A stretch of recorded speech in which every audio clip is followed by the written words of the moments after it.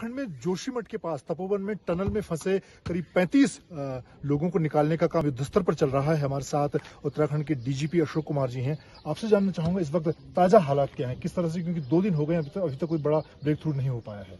जी, अभी स्टेटस कोई है कहेंगे, क्योंकि ब्रेक थ्रू नहीं आ रहा है। जितना मलबा निकल रहा है, उतना ही आगे आगे से निकलता जा रहा है। इवन जो बीच में ऐसा स्टेज था कि पूरा छत तक भरा हुआ था टनल के।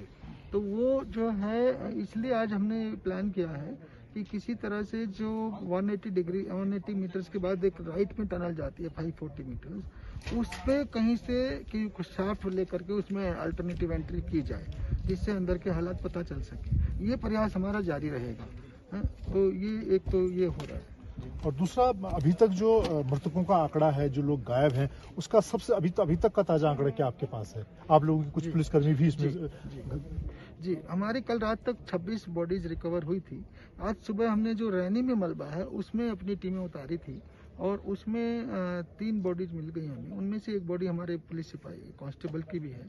गड़िया उसका नाम था। और जो है संभवतः जो दूसरा हमारा मिसिंग था एएसआई वो कर्ण प्रयाग में है कि में एक बॉडी आइडेंटिफाई हो रही है। हंड्रेड परसेंट नहीं है बट नाइन्टी परसेंट वो बता रहे हैं कि उससे मिलान हो रहा है। टोटल बॉडीज जो अभी रिकवर हुई हैं उनतीस हो गई हैं।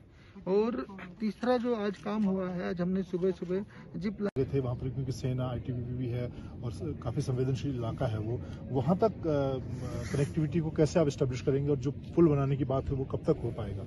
देखिए जो जैसा मैंने कहा आज जिप लाइन तो आज एस्टेब्लिश हो गई यानी तो रोप के थ्रू तो आज से जाना शुरू हो गया।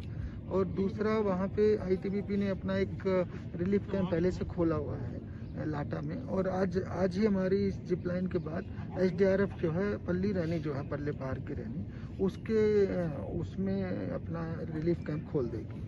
रही बात बड़ी कनेक्टिविटी की उसमें कोई एग्जैक्ट टाइम मुझे नहीं दे पा रहे हैं ये लोग जो इंजीनियर्स हैं क्योंकि पूरा का पूरा बेस भी उसका ख़त्म हो गया है जो जो ब्रिज है।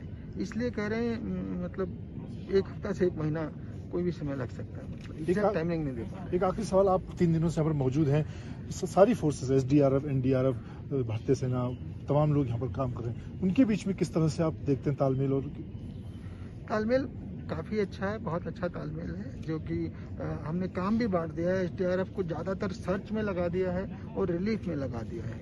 और जो आर्मी और आईटीबीपी आईटीबीपी भी रिलीफ में लगी हुई है और एनडीआरएफ को भी सर्च में लगाया है। और जो रेस्क्यू ऑपरेशन में मेनली आर्मी और आईटीबीपी कर रहे हैं, उसमें एनडीआरएफ, एसडीआरएफ का सपोर्ट है। तो सबसे सबसे हमने, सबने कोऑर्डिनेशन इंश्योर किया हुआ है। बहुत धन्यवाद। तो ये थे उत्तराखंड के डीजीपी अशोक कुमार जी, जिनके जो यहाँ